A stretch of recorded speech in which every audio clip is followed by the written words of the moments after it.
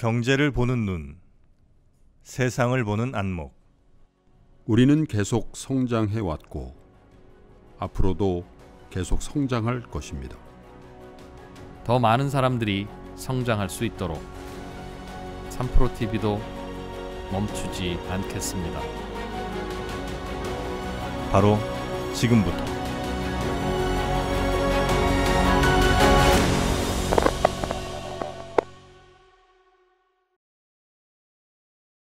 네.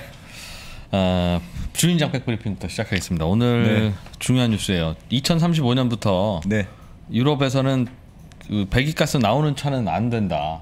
아 그러니까요. 안 된다. 이거- 선언을 했죠. 선언이겠죠?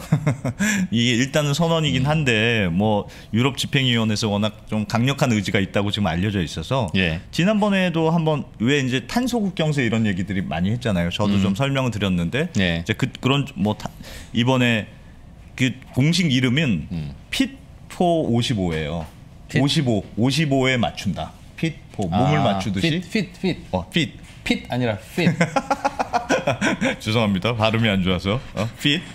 핏 포 50, 어, 핏. 55. 예. 그러니까 2000, 1990년 대비해서 55%까지 줄인다. 10년 내 90년에 나오던 탄소보다 50% 55% 55% 수준까지 내려가도록, 내려가도록 앞으로 10 년 후에 음. 10년 후에 한다. 그래서 그걸 이제 맞추는 작업을 하겠다는 건데 여러 네. 가지 뭐 탄소 국경세도 있고 재생 에너지도 뭐 40%까지 늘리고 여러 내용이 있는데 예. 그 중에 하나가 2030년까지 지금 신차의 배기가스 배출량을 지금보다 55% 낮추고 네 2035년에는 100% 낮춘다. 0으로 만들겠다. 영으로 만든다. 네. 그러니까 지금 뭐 기존의 내연기관뿐 아니라 이제 하이브리드 차 다 안 된다. 음. 뭐 이런 거예요. 이거 지금 표 한번 봐주시면 네. 이게 그 지금 친환경 차 국내도 친환경 차 판매 이제 표예요. 그 보시면 밑에 게 이제 최근에 2011년 상반기 뭐 이런 건데 여전히 하이브리드카가 훨씬 많거든요. 여전히 그러니까 전기차보다는 전기차보다는, 전기차보다는. 하이브리드카가 어, 그럼요. 많다. 이게 예. 우리나라만 그런 게 아니고 전 세계적으로 뭐 다 그렇습니다. 저표안 나와서 그렇지 휘발유차 경유차는 지금 막 울어요. 너희들은 당연히 사형이고 죽음이고 하이브리드 카도 네. 제도 안 된다. 네, 어, 전 세계적으로도 거죠? 보니까 어, 이게 어, 작년에 보니까 지금 친환경 차가 아, 죄송합니다. 아, 잘못 찾겠네. 아무튼 근데 이게 지금 유럽에서도 음. 지금 유럽의 탄소 기준 기, 탄소 배출 기준도 1km당 95g이에요. 네. 근데 지금 우리나라가 하이브리드 1위카가 뭐냐면 현대차의 그 그랜저 하이브리드거든요. 예. 그것도 지금 얼마를 배출하느냐? 97g을 배출해요. 그러니까 네. 지금도 이미 유럽 기준은 못 맞춰서 벌금을 내고 있는 아. 현대차의 하이브리드도 그럼요. 조차도 유럽의 네. 기준은 못 맞춘다. 내연기관차는 물론이고 음. 하이브리드카도 지금 그 기준을 유럽에서 못 맞추고 있거든요. 그래서 네. 팔려면 벌금 내고 팔아야 되는데 당장 2030년부터는 이거보다 절반 내린다니까 뭐 아예 안 되는 거고 음. 35년에는 0이니까 예. 설 자리가 없어지는 거죠. 이게 지금 나라들마다 하이브리드 카에 대한 이 친환경 차에 포함시킬 거냐 말 거냐 약간의 논란이 있어요. 예. 왜냐하면 프랑스 같은 나라도 이제 자동차를 생산하는 나라잖아요. 있죠. 이런 예. 예, 그런 나라는 2040년까지는 좀 내연기관 팔 수 있도록 해, 해줘라. 음. 하이브리드 카도 당연히 2040년, 35년 너무 과도하다 이런 입장이거든요. 그래서 예. 유럽 내에서도 조금 입장이 좀 갈리는. 이거 쉽, 쉽지 않을 겁니다. 아, 우리나라에서 동네 재개발할 때도 네. 30년짜리 건물 갖고 있는 분도 있지만 음. 나 재작년에 지금 건물 새로 올렸는데 네. 이거를 내후년에 민다면 어떡하냐. 어, 그렇죠. 10년 그렇죠. 후에 하자 하는 분도 있고 네. 또 한쪽에서는 10년 후에는 우리 집 빚에서 안 된다. 네, 네. 이게 이제 각자 다 산업이 다르고 맞아요. 일자리도 다르고 음. 어, 자동차 산업의 비중도 다르고 아 이게 그 일자리 문제와 관련돼 있고 또 부품도 줄어든다고 하니까 예. 굉장히 뭐 여러 가지 영향 미칠 것 같은데 우리나라도 그렇고 일본도 저, 이게 뭐 이게 실시간 채팅창에도 도요타는 이제 끝났다 막 이렇게 막 올라오시던데 예. 정확한 지적이고 일본이 진짜 영향을 많이 받는 게 일본이 하이브리드카가 아주 특화된 나라잖아요. 예, 예. 전 세계 하이브리드카 판매 7, 80%가 일본 차예요. 음흠. 그 정도로 일본 자동차 메이커들이 하이브리드카를 열심히 만들었는데 예. 지금 뭐 이제부터 안, 못 팔겠다 하면 이제 일본 음. 차도 굉장히 타격을 받고 인터뷰한 걸 보니까 우리도 전략 수정이 불가피할 것 같다 네. 음. 이런 식으로 일본의 자동차 회사들도 어, 코멘트를 하고 있고 예. 현대차도 그렇 현대차도 지금 입장은 2040년까지 40년 이후에는 음. 친환경 차만 팔겠다 이렇게 예. 선언했어요. 근데 여기에는 하이브리드카가 들어가 있어요. 음. 그러니까 40년 이후에도 우리 생각은 하이브리드카를 좀 팔려고 생각했는데 네. 이제 유럽이 이런 식으로 먼저 기준을 탁 정해버리면 음. 현대차는 이건 어떻게 해야 되나? 하여간 사건은 사건인데 하이브리드 차에 집중했던 일본 차는 황당하겠구나 쌤통이다라고 생각하면 안 되는 게 네. 이분들이 이제 하이브리드 차 어, 이거 아닌가 보다 싶으면 네. 지금부터 전기차 시작할 거고 열심히 만들어서 어, 그러면 또 몇 년 후에는 하이브리드 차 만들었으면 우리의 직접 경쟁자는 아닐 수 있었던 일본 네, 업체가 네. 또 direct로 직접 경쟁이 되기도 하고 그럴 수도 있어요. 음, 그렇긴 한데 문제는 진짜 2035년부터 그렇게 한다고 하면 네. 거기에 맞출 텐데 음. 이게 이제 정치인들이 합의한 거라서 음. 또 어떻게 될지도 모르고 대개는 아, 요즘 같은 분위기에서는 앞으로 10년 이후의 날짜를 박으면서 뭐 하겠다고 하는 건 음. 할지 안 할지 사실은 모르는 모르는 것 같아요. 네, 네. 그런 면도 있고 그래서 근데 자동차라는 게 워낙 이제 한 번 사면 오래 타니까 막 그러니까요. 10년, 15년 예. 타니까 음. 2035년이면 너무 먼 얘기 아니야 이렇게 생각이 드셔도 네. 사실은 10년 전부터 영향을 이제 미치는 아 이제부터는 완전히 시대가 바뀌는 건 없. 음. 그러면 지금 예를 들면 유럽에서 주유소 하시는 분들은 네 그 주유소 팔아야 돼요, 아니면 계속 사업하고 사- 설비 투자 해야 돼요, 어떻게 해야 돼요? 10년만 어떻게 대충 버티다가 어, 그렇게 해야 되는 거죠. 그렇게 해야 되겠죠. 그렇죠. 어, 그럼- 아니면 그거를 다 전기차 충전하는 걸로 바꾸든지. 바꾸든가 아니면 뭔가 해야 될 텐데 그러면 이제 뭔가 분위기 보고 눈치 보다가 아 진짜가 보다 그럼 빨리 팔고 싶을 거 아니 빨리 음. 그렇죠. 접고 싶을 거 아니겠어요. 네, 네. 나중에 접으려고 하면 주유소 설비 해체해 주는 업체도 없을 거 아니겠습니까? 맞습니다. 네. 그러지 그러면 아마 2035년 되기 전까지도 어, 주유소들이 자꾸 없어지는 음. 실제로 그렇게 된다면 그래서 그 그 dissolve라고 하나요? 그 뭔가 네, 그 네. 자연스럽게 네. 연결되는 부분이 쉬- 꼭 쉬울까 하는 생각도 들고 아무튼 참고로 중국의 경우에는 보니까 예, 예. 2035년에 전기차 절반, 하이브리드 절반으로 하겠다. 이런 식으로 지금 로드맵이 돼 있어요. 그러니까 또 중국? 중국은 또 하이브리드 많이 팔겠다는 거예요. 음, 그러면 일본이 중국에 가서 열심히 팔아야 되나 이런 고민을 만만치는 않을 것할것 같고, 같고 참고로 하나만 더 말씀드리면 예. 우리나라도 사실 하이브리드 카에 대한 혜택을 조금 줄이려고 하는 분위기입니다. 음. 표를 한번 보시면 지금 친환경차 조금 글씨가 작은데 친환경차에 대한 세금 감면 혜택이거든요. 근데 전기차는 지금 개별 서비스 취득세가 두 가지인데 보통 크게 네, 예. 개별 서비스에는 전기차는 300만 원인데 하이브리드 카는 어 100만 원 음. 해주고 취득세는 전기차는 140만 원인데 하이브리드 카는 40만 원. 이렇게 하이브리드카가 오히려 더 세금 감면이 많다. 적죠. 아, 감면액이? 아, 감면액이 아, 적죠. 적다. 감- 감면액이 예. 적은데 음. 개, 개별 서비스에는 그나마 올해가 사실은 일몰이거든요. 예. 그래서 혜택이 끝나는데 지금 정부 입장은 개별 서비스에는 어떻게든 연장을 해주려는 분위기인데 네. 취득세는 못 해주겠다. 하이브리드 카는 전기차는 어떻게 해주더라도 그런 분위기예요. 그래서 이게 올해 말 끝나면 이게 예. 취득 하이브리드 카에 대한 취득세 혜택 40만 원도 음. 없어질 가능성이 꽤 지금 높아졌습니다. 지금까지도 공제액을 계속 줄여왔고 네. 그래서 하이브리드 카라는 게 사실은 이렇게 중간에 있- 있던 단계에서 나온 건데 음. 전기차가 막 이렇게 너무 빨리 뜨면서 중간에서 지금 입지가 애매해지고 있는 게 아닌가. 이게 자동차가 전기차로 바뀌면 이제 가장 큰 문제가 음. 일자리. 네. 일자리가 자동차 조립 일자리 이거 아니라 네. 자동차는 내연기관 자동차는 부품이 많으니까 그럼요. 어, 그 부품들 일일이 만드는 업체들도 많고 하니 전방에 그 일자리들이 굉장히 다양하고 많은데 전기차로 딱 바뀌어 버리면 음. 근데 대량 기계로 대량 생산하는 부품들을 그냥 조립만 하면 되더라고. 그렇다면서요. 예. 네. 그리고 그게 조립이 간단하면 이것도 아마 로봇으로 대체하기가 더 쉬울 거예요. 그 굉장히 큰 문제죠. 네. 그러면 그 일자리들을 어떻게 할 거야라고 하는 게 이제 실제로 없어지기 시작하면 아마도 음, 자동차 산업이 발전한 나라들부터 아이 우리 이건 못 하겠어. 어. 어. 아니 하여튼 몰라. 하여튼 몰라. 모르겠는데 어, 일단 뭐 일자리가 중요하지. 전전 정권이 뭐 합의했는지는 잘 모르겠지만 우리 잘 모른다. 전 정권이 합의하고 다음 정권에서 달라지는 게 우리 근처에서도 많잖아요. 그럼요. 어, 우리 아- 그 중국, 한국, 일본 사이에서도 막 벌어지잖아요. 유럽에서는 안 벌어질까? 그건 잘 모르겠습니다. 야, 일자리 문제는 하여튼 자동차와 관련해서는 굉장히 큰 이슈가 되겠죠. 아무튼. 어, 네. 음. 여러분들은 어떻게 생각하시는지 어떻게 될지 저도 잘 모르겠습니다. 예. 이런 일이 있었다. 아무튼 네, 오늘 네, 네. 자 금통위 이야기. 야 금통이 오늘 네. 뭐 다들 뉴스를 많이 보셔서 아시겠습니다만 예. 결과는 이제 동결이었잖아요. 음. 근데 이제 앞으로 올리겠다는 굉장히 강한 시그널을 줘서 예. 지금 시장에 들썩들썩한데 음. 주목해야 될 포인트는 두 가지 정도입니다. 하나는 일단 오늘 소수 의견이 나왔다는 거예요. 소수 의견. 소수, 소수 의견이 뭡니까? 소수 의견 그러니까 금통위원이 일곱 명이서 원래는 네. 나는 찬성이요. 뭐 음. 아, 나는 올려야 되겠습니다. 동결해야 되겠습니다. 의견을 내잖아요. 예. 음. 근데 한두 명이 소수가 반대 의견을 냈다. 그러니까 한 다들 동결로 결정했는데 아 한 명만 6대 1이었다. 그렇죠. 한 명만 전 올려 있는 게 맞는 것 같습니다. 아. 이렇게 얘기했다는 거예요. 표결 결과도 발표하는군요. 발표해요. 그 한 명이 누군지도 얘기. 얘기해 줍니다. 아. 그게 이제 고승범 위원이라고 음. 고승범 위원이 사실 이게 금통위 출신이거든요. 금통위 공무원 출신이에요. 금융위, 금융위 아 죄송합니다. 금융위.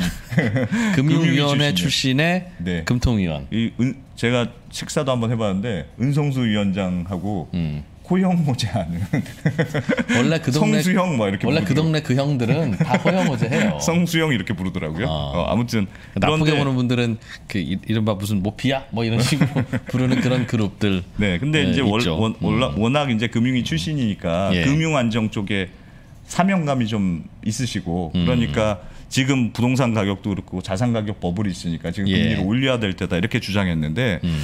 소수 의견이 나, 나왔다는 게 그냥 6대 1이니까 어쨌든 결론은 똑같은 거 아니냐 예. 이렇게 볼 수가 없는 게 음. 이게 사진 한번 보시면 이게 금통이 시작할 때 사진이거든요. 이게 언론에도 자주 나옵니다만 이제 음. 딱그 총재가 딱 저기 회의 자리에 앉아 있고 세 명씩 세 명씩 이렇게 앉아 있는데 예, 저 일곱 명이 우리나라 기준금리 결정한다는 거죠. 결정하는 분 자리입니다. 그 예. 회의 시작하기 전에 이제 기자들한테 잠깐 보여서 사진도 찍고 음. 찍을 수 있게 하는데 보통은 이렇게 회의에 모였을 때 자 그러면 소신껏 자기 투표해 보세요 이렇게 하는 게 아니고 음. 회의를 시작하면 자기들끼리 경론을 막 벌여요. 실제로 백분 토론처럼. 백분 토론처럼 네. 한참 얘기해요. 그리고 끝날 때 마지막에 그래서 어떻게 하겠습니까? 이렇게 얘기해요. 그래서 나는 동결. 어. 뭐 나는 인상. 그렇습니다. 뭐. 그래서 웬만하면 사실은 동결이 나와요. 왜냐하면 조금 생각이 달라도 음. 야 지금 상황에서 우리가 이래도 되겠느냐 저래도 되겠냐 해서 만장일치로 주로 나옵니다. 그래서 네. 대부분의 금통위는 만장일치 의견이 나와요. 이번에는 그런데 이번에는 근데 음. 소수 의견이 나왔다는 건 사실 이게 무슨 뜻이냐? 예. 어떻게 보면 아무리 설득해도 이 사람은 설득이 안 된다. 음, 음. 그래서 사실은 금통위에서 소수 의견이 나오면 보통 총재들이 굉장히 싫어합니다. 음. 내가 설득을 못했구나. 그래서 예전 미국에서 폴 볼커라는 아주 전설적인 아. 연방준비 제도 의장도 있었는데 이 예. 양반은 음. 아예 대놓고 소수 의견이 나왔다. 음. 그럼 대놓고 나 기분 나빠서 못하겠다. 음. 한 명만 더 나오면 내가 관둘 거다. 뭐 이런 식으로 얘기하고 그랬거든요. 어, 동결이든 인상이든 아무튼 다 합의를 하자. 합의를 하자, 어. 합의를 하자. 그래, 그래야 시장에 좀 일관된 시그널을 주지 않냐. 그래서 음, 음. 합의를 굉장히 종용하는 분위기인데 네. 소수 의견이 나왔다는 건 굉장히 인상에 대한 의견이 많, 이게 논란이 많았다는. 뭐 있었던 것이고 음, 지금 아마 하는 총재는 올리고 싶을 거예요. 아, 그렇죠. 어, 하는 총재는 올리고 싶을 거고 잘은 모르겠는데 그냥 이것도 이건 정말 정말 백브리핑 제 네. 의견 네. 내피셜 네. 고승범 의원이 네. 그러니까 이게 그 금통위원을 먼저 말씀을 드리면 일곱 명 중에 네. 하는 총재 부총재는 들어가고 그렇죠. 그럼 나머지 다섯 명이 이제 외부에서 온 의, 이런저런 위원들일 추천, 텐데 추천을 받은 위원들이죠. 그 중에서는 교수 출신 민간인 출신도 있고 음. 뭐 기업 출신도 한 명씩 들어가고 네. 말씀드렸던 이 관에서 공무원 하던 분도 와요. 그렇죠. 오잖아요, 그죠? 네. 이제 그 이번에 나는 인상하기로 한 소수 의견입니다 한 분이 이제 고승범 고승, 의원 고승범. 의원인데 네. 이분이 이제 의외로 보통 금통위원은 한 5년 5년이 아마 임기고 네. 한번 하면 그만인데 두 번째 하는 분. 연 연임했죠. 네. 어, 그리고 아마 하는 총재가 추천해서 연임한 분일 거예요. 맞아요. 음, 그렇다 보니 하는 총재의 의견을 꽤 많이 반영할 가능성이 높다.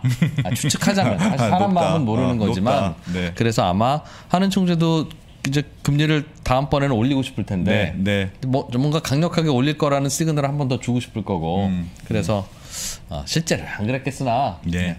승범이 네가 한번 이렇게 해서 해 어, 분위기 좀 그렇게 좀 해봐 해보자 음. 하는 내부에서는 아마 그 조윤재 조윤재 위원 네. 이분이 오히려 더 강성이다 강성이다. 원래는 강성이라고 원래 또 아- 아마 알려져 있죠. 소수 의견 나오면 이분이 네. 그 소수 의견 나올 거라고 얘기 있었는데 이번에 이분은 아직까지는 뭐 동결로 섰던 것 같고. 그래서 사실 오늘 보니까 이 고승범 위원이 소수 의견 나온 게 어떻게 네. 보면 이렇게 짜여진 각본이라는 썰도 있어요. 왜냐하면 음. 네. 보통 말씀드렸다시피 소수 의견 나오면 하는 총재가 기분 나빠야 되잖아요. 음. 예전에 그 2019년에 금리 처음에 내릴 때 음, 그때 7월에 2019년 7월에 처음 금리를 내렸거든요. 예. 그두 달 전인 5월 금통위 때 당시에 소수 의견이 한 명 나왔어요. 음. 금리를 내려야 되는 거 아닙니까? 네. 시국이 수상한데 음, 예. 그때 이주열 총재가 기자회견 때 뭐라고 했냐면 음. 소수 의견은 소수 의견이지 어?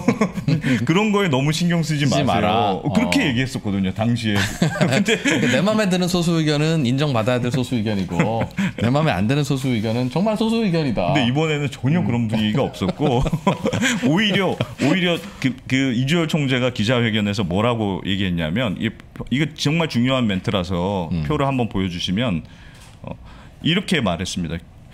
이주열 총재가 뭐래? 다음 회의 때 다음 회의부터 통화 정책의 완화 정도의 조정이 적절한지 아닌지 논의하고 검토할 시점이라고 본다. 이렇게 발언했어요.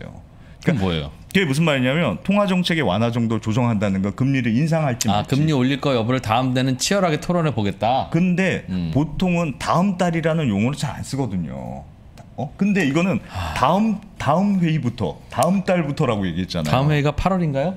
그렇습니다. 그냥 8월에 올리겠네. 그래서 지금 제가 들어오기 전에도 아, 네. 잘 아는 이 채권 애널리스트 분하고 통화를 했더니 음. 뭐라고 얘기하냐면 이 정도 얘기하고 안 올리면 진짜 이상한 거다. 이상한 거다, 8월에. 어, 그, 정, 그 정도로 얘기. 아마 시장에서도 다 그렇게 예상하고 있고 네, 네. 어, 그냥 8월에 올릴 걸로 그냥 생각하시면 음, 그래서 되겠습니다. 금리 인상이 아주 이렇게 진 걸로 보인다.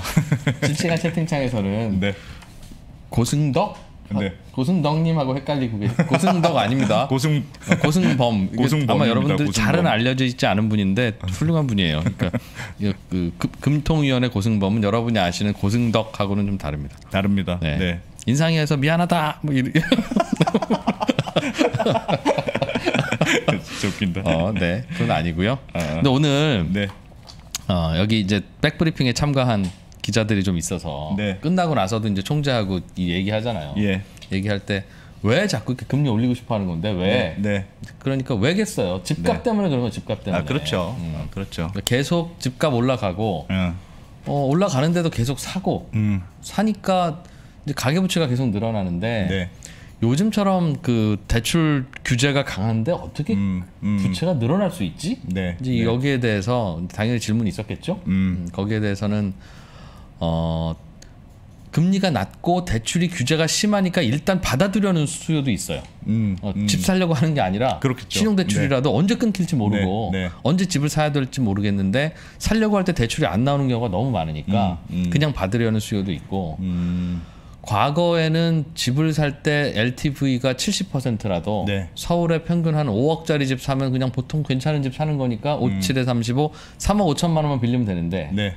요즘엔 40%밖에 안 빌려주지만 음. 10억 넘게 줘야 되잖아요. 그렇죠. 그러니까 집한채 살 때 들어가는 부채가 더 많은 거예요, 과거보다. 정, 정말 많이 빌려야 되죠. 음, 그러다 보면 어, 더 부채가 늘어나고 이제 그래서 가계 부채는 늘어나는 건데 어, 이게 하, 하나 하나만 재- 재미삼아 더 말씀드리면 네. 예전에 이런 얘기도 있었어요. 음. 이주열 총재가 제일 존경하는 사람이 누구냐? 예전 하는 그 선배들 한 있을 거 아니에요. 선배 총재들 중에? 선배 총재들 중에 이성태 총재라는 사람을 자기가 개인적으로 제일 존경한대요. 이성태 총재. 이성태 총재. 근데 이, 막 직전 직전 총재죠. 예, 그렇죠. 아, 전전 직전이죠. 총- 총재일 어, 거예요. 총재 이전에. 네. 근데 예. 이성태 총재가 무슨 말을 했, 는지 자기가 가슴 깊이 새겨 들었다는 말이 있는데 음. 그게 뭐냐면 장장론이에요. 장장론. 장장론이 장작. 뭐냐면 장작. 어. 괜- 좀 괜찮을 때 날씨 춥다고 장작 다 떼버리면 음. 나중에 진짜 혹시 더 추운 겨울이 오면 어떡할 거냐. 네. 그러니까 조금 날씨가 나아질 때 장작을 좀 쌓아둬야 그 말은 금리 올릴 수 있을 때 자꾸 올려줘야 그렇죠. 올려놔야 하는 입장에서 금리를 내리는 게 일종의 실탄을 쓰는 건데 음. 자꾸 더 내리면 만약 0까지 내리면 더 내릴 게 없잖냐. 음. 그러니까 요즘 조금 괜찮아 보이니까 일단 일단 기회만 있으면 올려놓자. 올려놓자 그렇게 해석하기도 하- 합니다. 하는 건데 가장 큰 변수가 이제 코로나 재확산. 그렇죠. 그렇죠. 음. 어. 아마 이거 더 심해지면 8월에도 올릴지 못 올릴지는 모르겠고 고- 고민이 좀 될 거예요. 네, 이게 가장 네. 큰 네. 고민이다. 네. 아, 라는 이야기가 전해지더군요. 그러니까 어떻게 할지 좀 모르겠어요. 금리 예를 들면 지금 한번 올리고 네.